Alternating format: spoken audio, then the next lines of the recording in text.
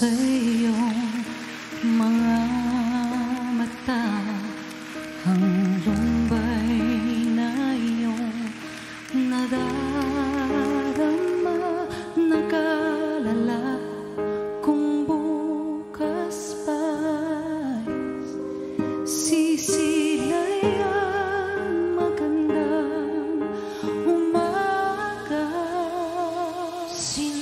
Subok ang iyong katatagan at ang dagok ng buhay. Sa'yo na